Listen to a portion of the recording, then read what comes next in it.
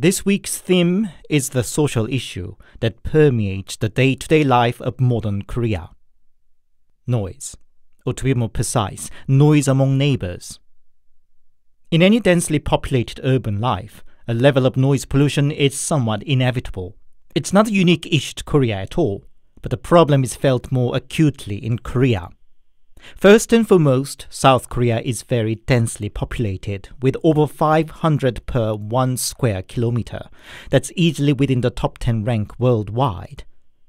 The easiest way to house such a dense population has been various forms of flats or apartments, and by today, more than half of the total population live in an apartment, and the number goes up to nearly 80% if we include other forms of smaller multiplex or public forms of lodgings. Virtually almost every Korean lives wall to wall to his neighbor. Unfortunately, various loopholes and loose regulation allows construction companies to get away with minimum soundproofing between apartments or between floors without a proper care. The nature of the concrete box construction, which essentially what modern apartments are, can amplify even mere walking around or kid bouncing a light plastic ball to an unpleasant banging noise for the neighbors underneath. It's easy to imagine how stressful that can get for everybody in such a situation. Sadly, when the stress reaches the boiling point, it can turn into a serious conflict between neighbors that sometimes escalates to physical altercation or even a murder. According to a news article on Donga Daily July this year, there were at least 55 officially recorded cases of violent incident triggered by noise issue in the past decade, and 22 individuals lost their lives as the result. So, today I collected non paranormal but just as scary real life stories regarding noise problem. In the first section, I'll discuss some of the most horrific cases of violent incidents from recent years, followed by two allegedly true stories that start as seemingly simple case of noisy neighbor but turn out to be much more bizarre and darker. As always, handpicked, translated, and narrated by host. Anthony.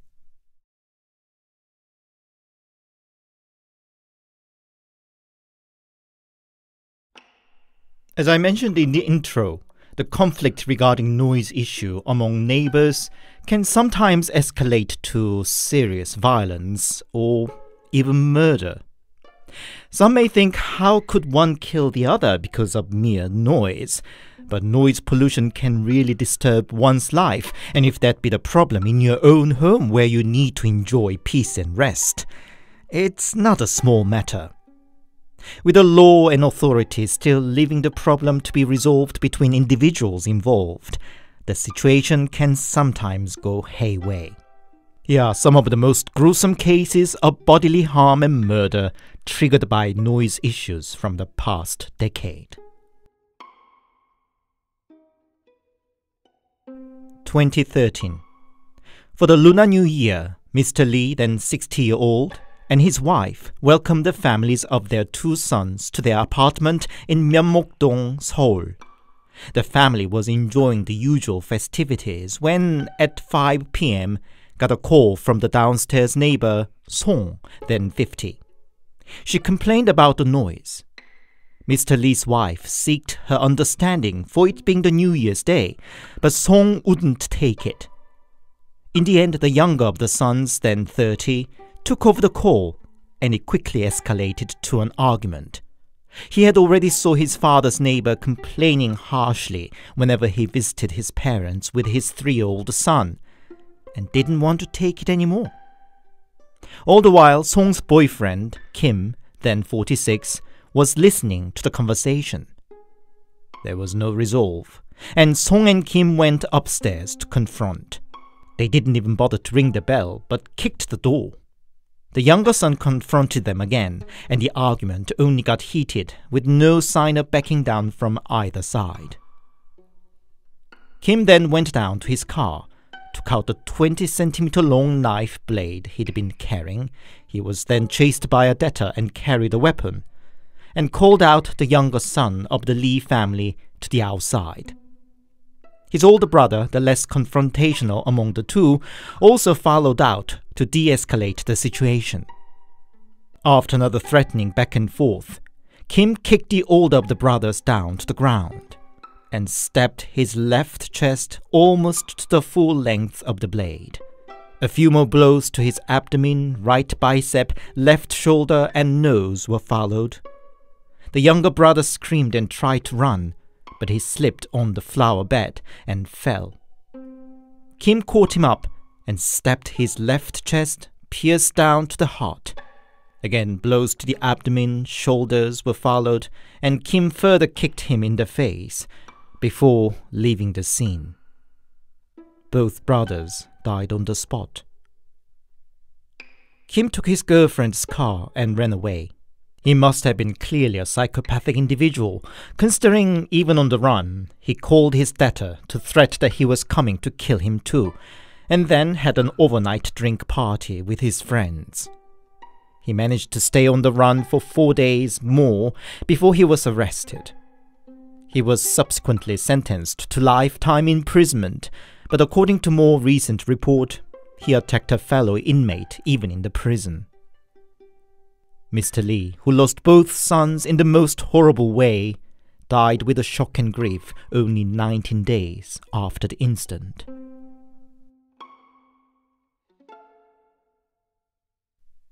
Twenty sixteen. Kim, then 34 year old, living in the apartment in Hanam City, Gyeonggi Province, had been complaining about the noise from his upstairs neighbors, the Chang family. He confronted the family directly a couple of times, but the issue was not resolved, and he planned an attack carefully. He first installed a spy cam facing the door of the upstairs neighbor, and from it figured out the password to the door lock.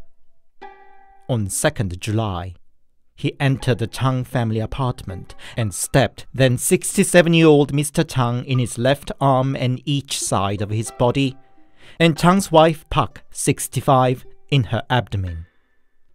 Kim quickly ran away from the scene. Mr. Chang could call the emergency and they were transported to the hospital, but his wife Ms. Park ultimately passed away.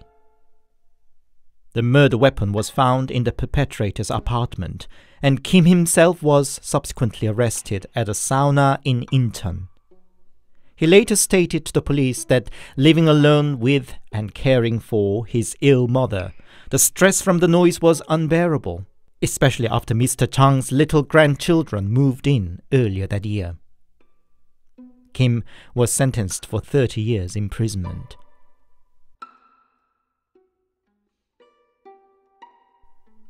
Twenty twenty one. In the apartment in Yosu City, Cholla Province, lived the Kim family. The husband, 41, and his wife, 39, ran a fried chicken restaurant and worked till late, while the wife's old parents took care of their two daughters day to day. Their downstairs neighbor was Chung, 35 year old man. He lived by himself and was a day laborer. To his neighbors, he was relatively quiet, if somewhat grim looking guy, except for his constant complaint about the noise from his upstairs neighbors, the Kim family. Even the couple taking a shower after a long day's work was enough to trigger Chung to run up and banging on the door.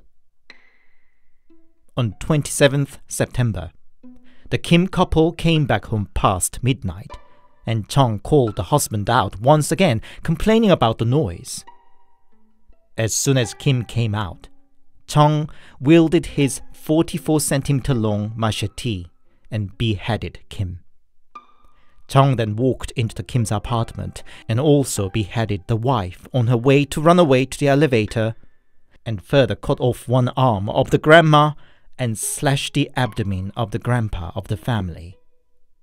The young daughters could save themselves by locking their bedroom door. The aftermath was so gruesome that the first correspondence to the scene required counseling for PTSD. During the investigation, they found out that the perpetrator searched for 600 different kinds of knives and weapons on the internet for the period of six months prior to the attack. The machete was purchased that way. Chung was arrested on the spot and subsequently sentenced to life imprisonment.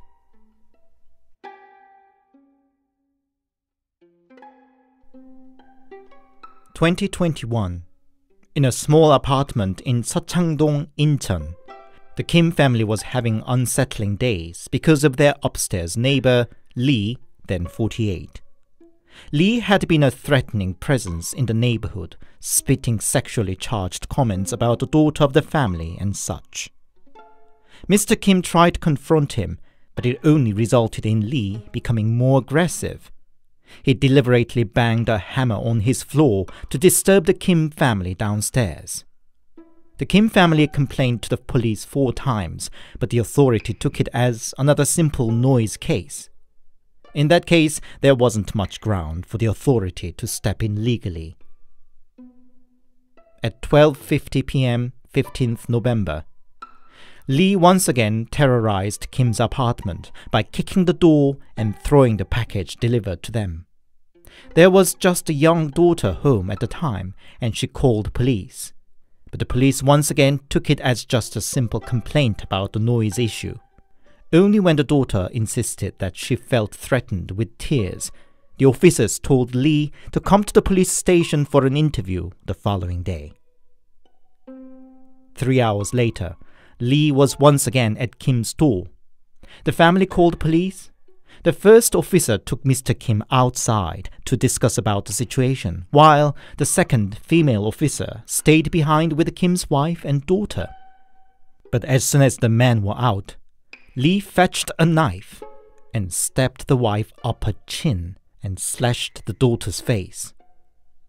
The second officer panicked and ran down, while the first officer and Mr. Kim, who heard the screams, were on the way up. Seeing the female officer in panic, the first officer took her outside while Mr. Kim carried on and confronted Lee alone. He managed to hold onto the blade with bare hands, snatched it away from Lee, and hit him with the handle of the knife till Lee passed out. The officers joined in only then and arrested already passed out Lee. This case became notorious not only because of the malicious attack itself, but the police officers' absolutely inadequate dealing with the situation. Rather than protecting the victims and subdue the attacker, they both basically ran away. Kim's wife, who was fatally stabbed, survived, but with cerebral infarction was rendered paralyzed and speechless while the daughter was left with a disfiguring scar on her face. Lee was sentenced for 22 year imprisonment, and the two police officers were fired from their positions and sentenced to three year long probation.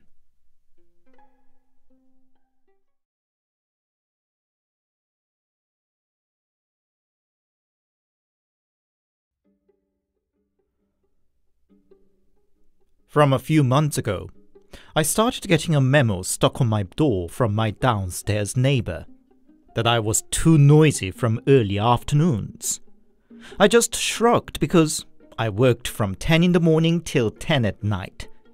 When the same memo continued, I even left a reply memo that it wasn't me. But the situation escalated without resolve, and when one morning I ran into the young couple downstairs, they swore at me.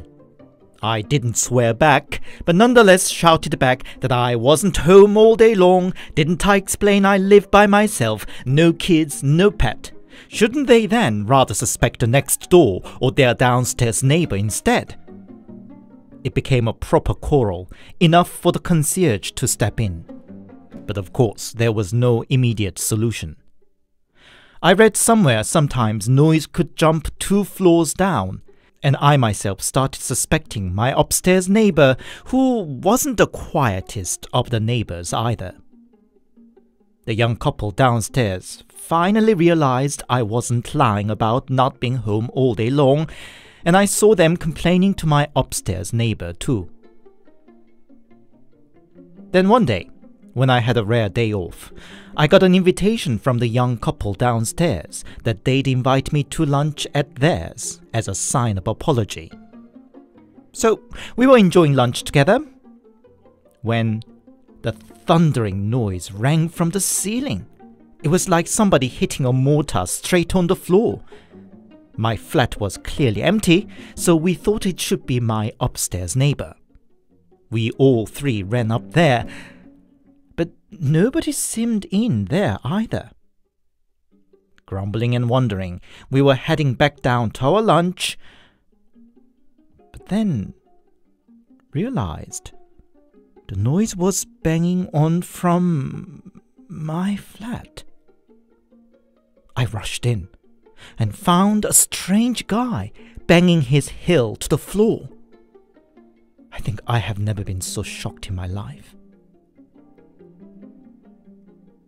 Police was called in, the young couple stated their accounts, and in conclusion, it all resolved all right.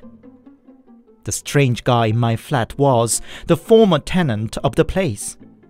He had an acrimonious relationship to the young couple downstairs, and it was his revenge to them. I guess it's my fault that I didn't bother to change the lock when I moved in.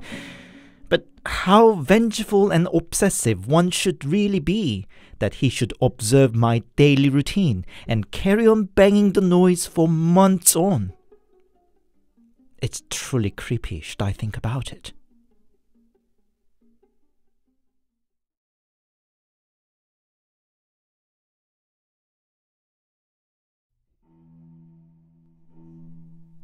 A few years ago, I lived in a small studio flat by myself. It was a difficult period of time for me. My previous roommate had stolen my money and run away, and also I was having a hard time to get used to the new three shift work schedule.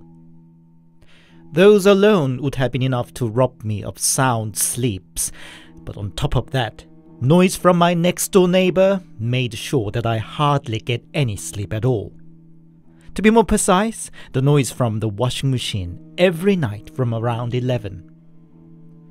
I am rather sensitive by nature, and any small noise, light pollution, or even less than ideal temperature or humidity would disturb my sleep already. I mean, you'd know if you ever paid attention, but the washing machine cycle is pretty regular. It rolls a few times, then pours, then a few more rolls, then water drains and spins to wring out the water. The volume aside, that irregular nature of the noise was sure to keep me awake all night, though I was dog tired. I hate to confront others, so for the longest time I tried to let it pass. Perhaps my neighbor, a middle aged woman, had to work till late, and that was the only time she could get the washing done, I thought. But that wasn't the case either, because I could hear she'd come back home around 7 or 8 usually. Even if she had to take a shower and eat, she could start running the washing by 9, then it would be done by 11 or so. But she seemed to spend the entire evening watching TV, and would only get to washing past 11, almost daily too. Then I couldn't fall asleep till past one in the morning. I had to get up by six to get to work by seven, and it left me barely five hours to sleep at best. After a few weeks like that, I was going mad. I left a note on her door in the end. Couldn't she at least run it before 10? Then I should be able to sleep before 12. And it seemed to have worked. My neighbor didn't run washing machine at all for the following few days, and for the first time since I moved into the flat, I could go to bed early and get an uninterrupted 8 hour sleep. Even after the first few days, she seemed to run washing at 9 or 10 now, and that was still good enough for me. A few months passed. One night, I was in bed already, but rudely woken up by the noises from the next door. It was well past one in the morning, but this time it wasn't the washing machine, but people arguing loudly. I put my ear to the wall. I couldn't make out what was said, but it was clearly between a woman and a guy. I didn't even know my neighbor lived with a guy.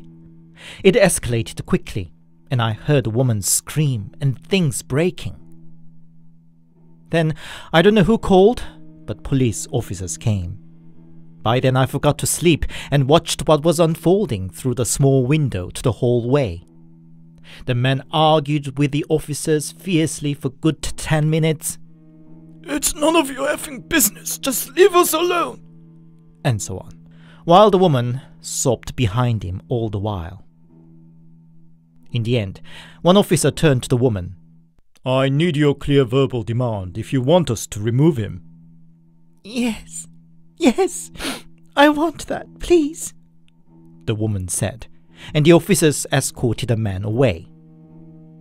The woman watched them go in the petrol car and said in a low voice, I'm sorry so late at night. Before she went inside, as if she knew very well that I, or perhaps other neighbors, were eavesdropping. A week passed. Once again, I was rudely woken up by noises from the next door. This time, it was the washing machine. Oh God, not again, I thought, but just let it pass that night. But when the same thing happened the following night, I couldn't sleep at all because of sheer anger than the noise itself. I think I barely got an hour worth of snooze that night. I tried to understand. Maybe her life was messed up, which was not too difficult to speculate, considering what I witnessed a week prior. But still, I needed to sleep when washing cycle ran for the third night in row. I banged on the neighbor's door at two in the morning. Hey, come out! I need to talk to you! I shouted, something I had never done before. What are you thinking to run washing machine at this time of the night? I got so mad that I didn't even know what I was shouting. I just had to do or say something to let out my steam. I could hear things go silent inside. Yet I wasn't satisfied. Come out! I still insisted, knocking on the door. The door finally opened, but just a crack, and a hand and a half of the face appeared.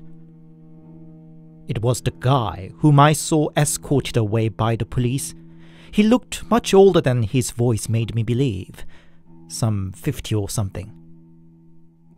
What do you want? he said. I was caught a bit off guard because I was expecting the woman. Nevertheless, told him that he shouldn't be running washing machines so late at night. So what? The man said with a cold stare, without any gesture of backing down.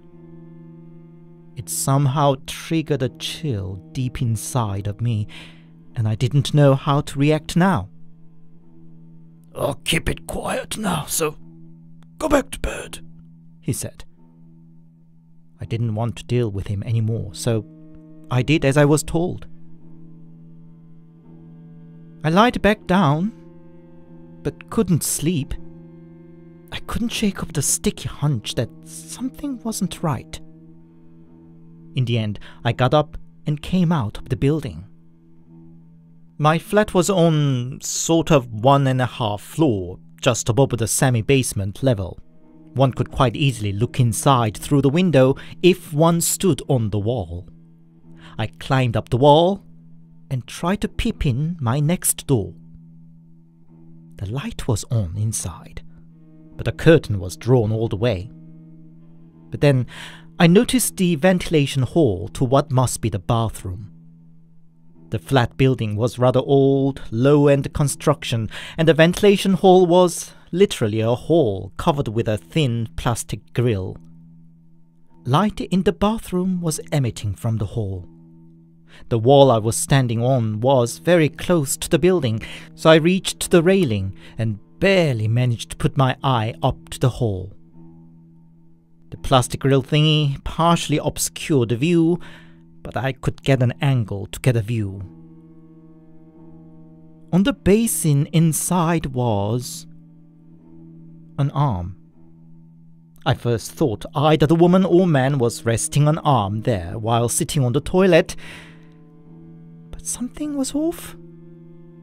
If that were to be the case, it had to be a right arm, but it was a left hand there.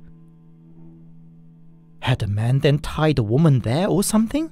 I thought, and I lowered my angle to get a wider view.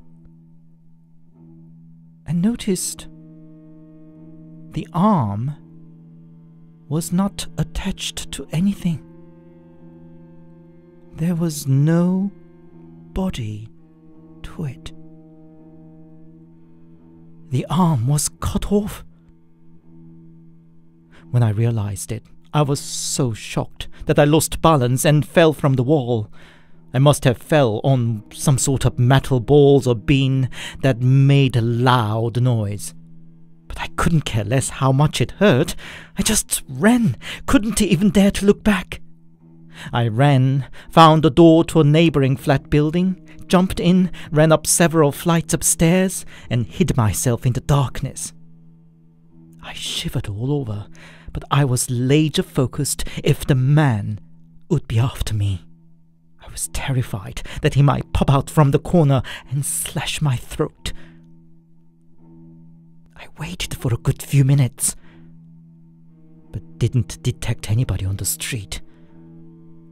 I had to call police, but I didn't have my phone or wallet and was scantily clad under my pajama pants and zip up hoodie in the winter night.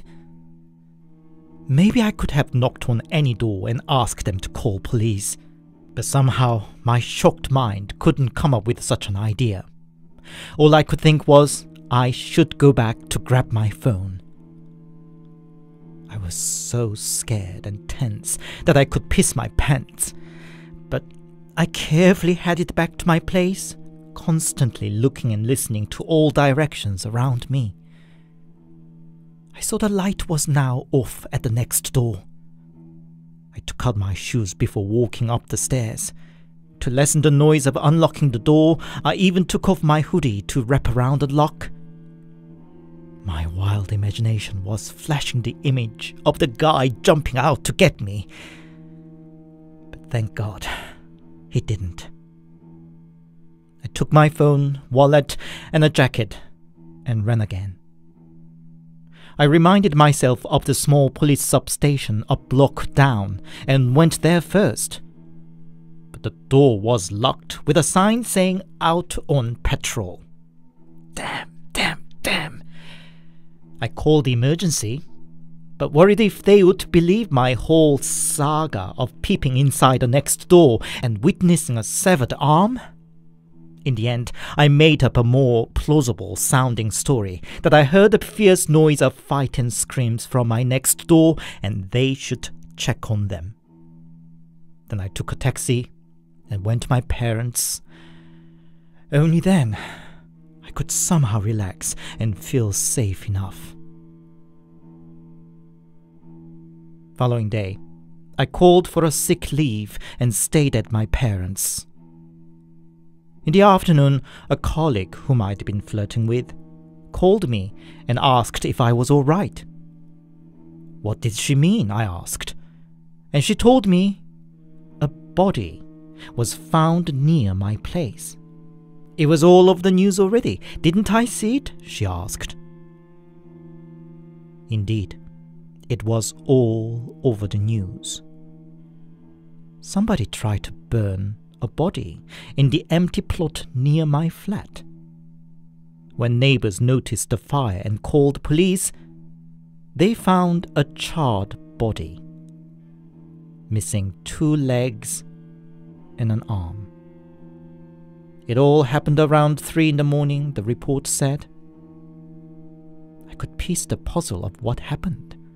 The man next door was alerted by the noise of me falling down and dragged out the body to the empty plot and attempted to burn it off.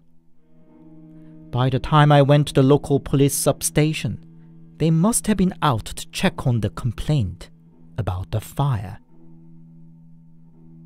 And the noise from the washing machine?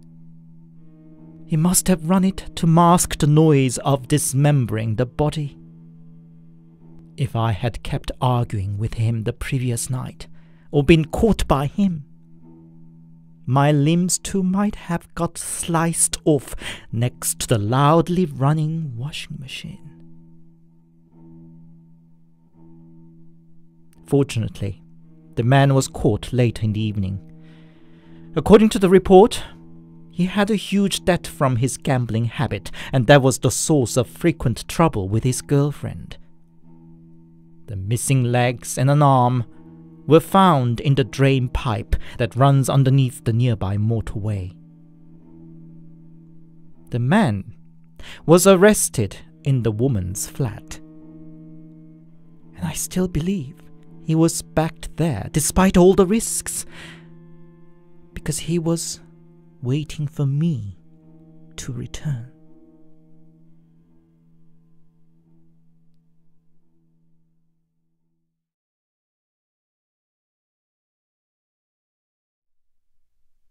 Hi, it's Anthony here, and thank you very much for listening. I hope you enjoyed today's stories, even though some of them were pretty gruesome. Thankfully, I spent most of my life in an independent houses and didn't have to suffer noise issue very often. But when I happened to stay in a various forms of apartment or multiplex and got to hear various sounds from washing machine to TV to even people living upstairs having sex, I can kind of understand how simple noise could degrade the quality of daily life. And I'm sure it's the very situation for some of my listeners too. Let me know if you ever had a particularly noisy neighborhood. If you enjoyed my work, please give it a thumbs up and a comment, and please consider subscribing to my channel if you haven't yet. If you'd support me more directly, I have a Buy Me a Coffee account, or you could also hit the super thanks here on YouTube for a small donation. Thank you. Until next Sunday, stay safe and keep the volume down.